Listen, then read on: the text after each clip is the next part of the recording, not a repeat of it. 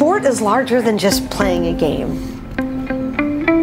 After having finished the Hawaii Ironman and proving that a woman with a disability can cover that distance too, I still continue to hear stories about people with disabilities that are being denied the rights to play and be part of after school sports. And this year, the race for me is really about having a higher purpose. I really want to dedicate this one to helping others get to their own starting line.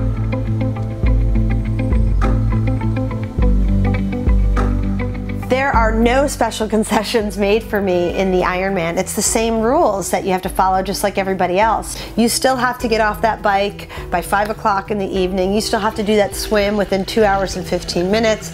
And you've got to cross that finish line before midnight. The first time that I went to the Hawaii Ironman, I missed the cutoff. I missed that bike uh, cutoff by 14 minutes. And um, it was heartbreaking.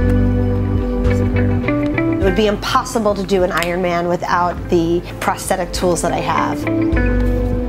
I have a mechanical knee, this is the cheetah knee, but I don't have the muscles that can pull through. So we've done spin scan tests. I'm getting 90% of my power on the bike is coming out of here. So the carbon fiber helps, but it's still me, that's the engine that's running them want to go through this and cross this finish line and just be like, yeah, aren't I so cool? Look what I achieved. I want to achieve something, but along the way, provide an opportunity for someone else to forge a path to achieve something great themselves. I kind of like being different from everybody else. You too?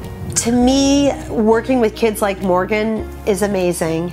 You know, there's a huge age gap, but I also I want to be her role model to show her that she doesn't have to be on the sidelines, that she can climb mountains, she can ride bikes, she can swim in the pool, she can go the distance. That's part of why I do this, to show Morgan what's possible and to push for those crazy finish lines. It's only crazy until you do it.